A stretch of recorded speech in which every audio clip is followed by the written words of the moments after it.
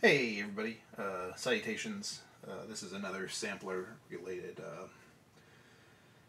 related post. Um, yeah, I had been discussing um sample rates in some of the other videos, and I just wanted to give you a better idea of what I meant by that. Um, so what I've done here is I've uh, I've sampled a loop off of this uh, ridiculous uh, Meco Moon Dancer record. If you're not familiar with it, it's more or less just a cocaine fueled nightmare about Wolfman, Draculas, uh, and disco. Uh, side one Moon Dancer, Love Me Dracula. Grazing in the grass. Spooky devil delight living in the night. Uh, it's it's stupid. Uh, but there, there does have some good breaks, so that stuff is, is what you like, it's whatever. Um, but yeah, so basically, uh, I have it sampled in up here at the highest possible sample rate, and I have it gradually going down to here to the lowest possible. So it starts out at 52.1, gets down to 6.25.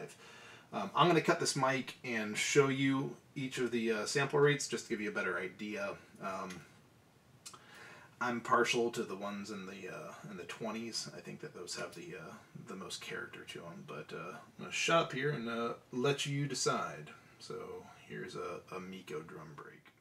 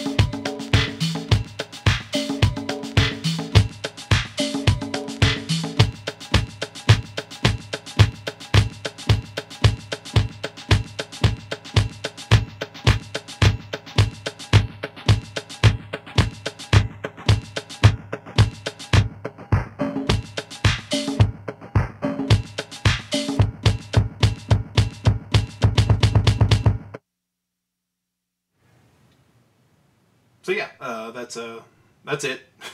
uh, my preferred are going to be. Uh, I don't see a difference really between uh, just about CD quality and just a little bit below. I, I my ears can't pick it up.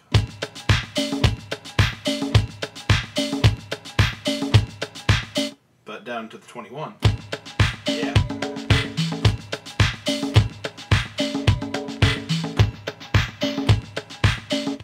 yeah, I, I like, I really like 16, I like 21. Um, this is just too high, but there are great, like the, high dogs, the overtones on, uh, on these three guys are incredible.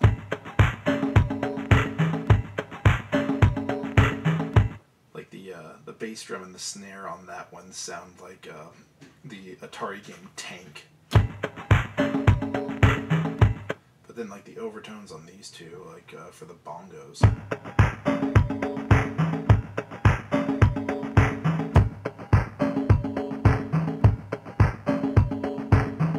That's just I, I, I fucking love it.